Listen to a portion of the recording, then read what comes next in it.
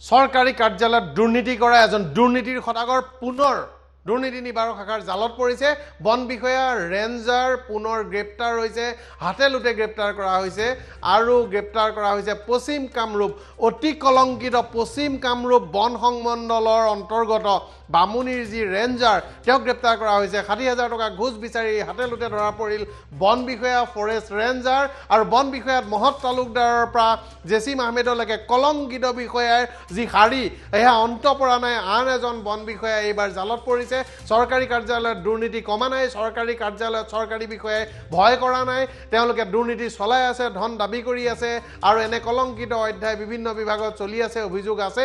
লক্ষেশ্বৰ দাস পশ্চিম কামৰূপ বন সংমণ্ডলৰ বামুণীগাঁও কাৰ্যালয়ৰ বন বিষয়া।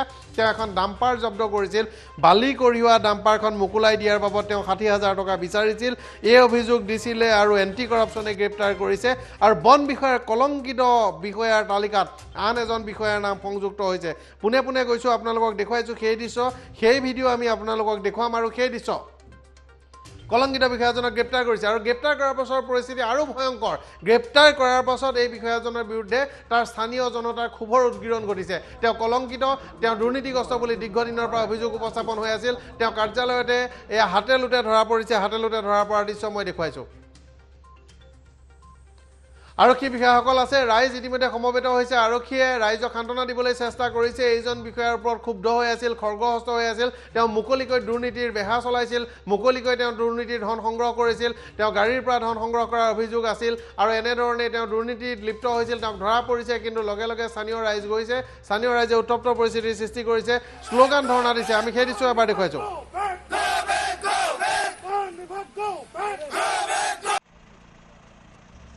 প্ৰতিবাদ অতি গুৰুত্বপূৰ্ণ কথা। স্পৰ্শকাতৰ ঘটনা সংঘটিত হৈছে আৰু এই দৃশ্য আমি দেখুৱাইছোঁ। তেওঁক লৈ যাবলৈ উলিয়াওঁতে স্থানীয় ৰাইজে বাধা দিছে। তেওঁ তাত লণ্ডভণ্ড কৰাৰ দৰে ঘটনা সংঘটিত হৈছে।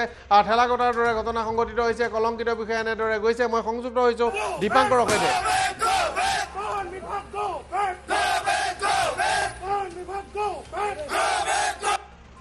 দীপাংকৰ এটা অতি গুৰুত্বপূৰ্ণ কথা। কলংকিত অধ্যায় কমা নাই। মহৎ তালুকদাৰৰ দিনৰ পৰা আৰম্ভ হৈছিল আৰু এনে কলংকিত বিষয়াৰ জেল যাত্ৰা অব্যাহত আছে।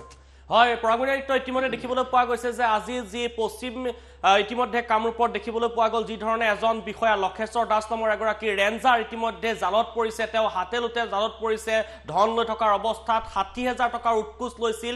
এখন বালি ট্ৰাক তেওঁ জব্দ কৰিছিল আৰু তাৰ পাছত ধনৰ বিনিময়ত মুকলি কৰাৰ বাবে যি ধৰণে ষাঠি হাজাৰ টকা দিবলৈ আহোঁতে দুৰ্নীতি নিবাৰক শাখাই ইতিমধ্যে তেওঁক গ্ৰেপ্তাৰ কৰিবলৈ সক্ষম হৈছে। তাৰ পিছতেই যি ধৰণৰ দুৰ্নীতি বন বিভাগত চলি আছে সেয়া পুনৰবাৰ পোহৰলৈ আহিছে। ইয়াৰ পূৰ্বতে আপুনি ইতিমধ্যে উল্লেখ কৰিছে মহৎ তালুকদাৰ যেনেধৰণৰ দুৰ্নীতিৰ ইতিমধ্যে দুৰ্নীতি নিবাৰক শাখাই তেওঁক ধৰাৰ পিছতে তেওঁ যি সম্পত্তি গঢ়িছিল সেই সম্পত্তিৰ পাহাৰ ইতিমধ্যে ৰাইজে ইতিমধ্যে দেখিছে কেনেধৰণে সংবাদ মাধ্যমৰ বাতৰি ইতিমধ্যে দেখিছে মহৎ তালুকদাৰৰ যি সম্পত্তি নামে বেনামে যি সম্পত্তি গঢ়িছিল সেয়া দেখিছে। আৰু কিছুদিন পূৰ্বে লখিমপুৰ ইতিমধ্যে বন সংমণ্ডলৰ Jasim Ahmed A C F Jasim Ahmed নামৰ এগৰাকী বিষয়াও ইতিমধ্যে জালত পৰিছিল। তেওঁ ধন লৈ ইতিমধ্যে জালত পৰিছে জেচিম আহমেদ নামৰ আন এগৰাকী বিষয়া লখিমপুৰত কিছুদিন পূৰ্বে। কিছু দৃশ্য আছে দীপাংকৰ আমি দেখুৱাইছোঁ এই দৃশ্য ধন লৈ থকাৰ ধন প্ৰদান কৰি থকাৰ দৃশ্য এয়া গোপন কেমেৰাত বন্দী হৈছে তেওঁ টকা লৈ আছে দৰদাম কৰি আছে।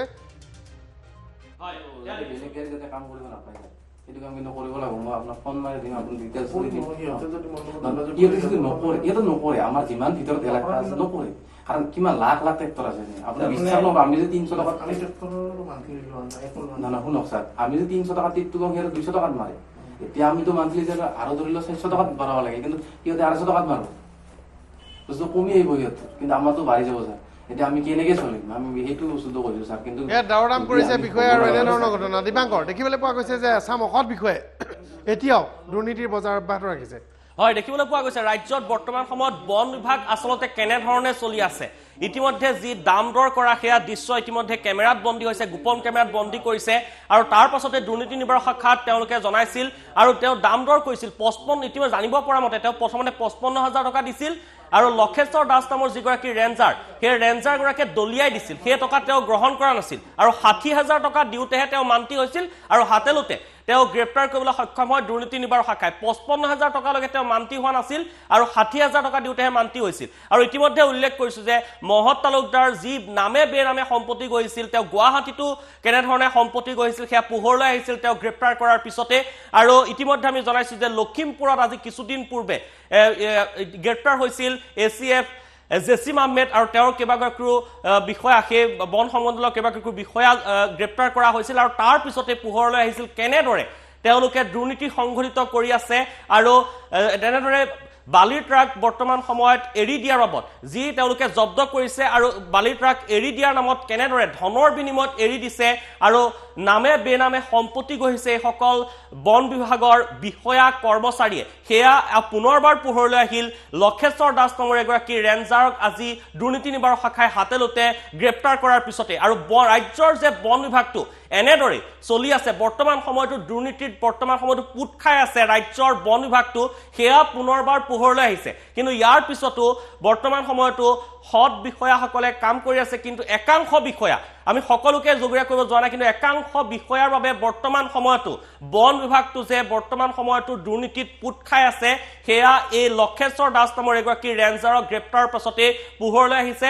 তেওঁ ইতিমধ্যে মন্তব্যও দিছে যে পঁচপন্ন হাজাৰ টকালৈকে তেওঁক দিছিল। তাৰ পিছতো ট্ৰাকখন জব্দ কৰাৰ পিছত এৰি দিয়াৰ বাবদ পঁচপন্ন হাজাৰ টকালৈকে দিছিল মান্তি হোৱা নাই। ষাঠি হাজাৰ টকা দিওঁতেহে তেওঁ মান্তি হৈছিল আৰু তেতিয়া দুৰ্নীতি নিবাৰক শাখাত লগত লৈ এই যিকেইগৰাকী ব্যক্তিয়ে তেওঁক হাতে লোতে ধৰাই তাৰ পাছতে পোহৰলৈ অহাৰ পিছত এতিয়া উত্তেজিত হৈ পৰিছে স্থানীয় ৰাইজেও। দীৰ্ঘদিনৰ পৰা তেওঁলোকে মনে মনে থাকিব লগা হৈছিল দুৰ্নীতি দেখিও মনে মনে থাকিব লগা হৈছিল কিয় কিয়নো তেওঁলোকৰ হাতত প্ৰমাণ নাছিল। আজি প্ৰমাণ পোৱাৰ পিছতে এইসকল লোক স্থানীয় লোকো উত্তেজিত হৈ পৰিছে যিহেতু দুৰ্নীতিত বৰ্তমান সময়ত গ্ৰাস গ্ৰাস পাই আছে সমগ্ৰ বন বিভাগটো ৰাজ্যৰ বন বিভাগটো কেনেদৰে গ্ৰাস পাই আছে এয়া পোহৰলৈ আহিল ৰেঞ্জাৰ লক্ষেশ্বৰ দাসক গ্ৰেপ্তাৰৰ পিছতে ধন্যবাদ দীপাংকৰ আৰু প্ৰতিক্ৰিয়া আছে এই সমগ্ৰ বিষয়টোত বিষয়াসকল আৰু স্থানীয় ৰাইজৰ। সেই প্ৰতিক্ৰিয়া এবাৰ শুনাইছোঁ। লক্ষেশ্বৰ দাস প্ৰটেকশ্যন ৰেঞ্জাৰ আপোনাৰ ঘৰ ক'ত? মোৰ ঘৰ নিজ এই যে পঞ্চাছ হাজাৰ এক লাখ যে দাবী কৰিছিলে কিহৰ বিনিময়ত কৰিছিলে? কিহৰ বিনিময়ত? মানে ট্ৰেক্টৰটো এৰি দিয়াৰ বিনিময়ত। ঘৰৰ কাৰণে মই মানে শিল আনিছিলো। শিল আনাংতে তেখেতে মোৰ গাড়ীখন উঠাই লৈ আনিছে। মানে মোৰ কাম বন্ধ থকাৰ কাৰণে ঘৰৰ কাৰণে অলপ কাম কৰিবৰ কাৰণে শিল উঠাই লৈ আহিছিলো।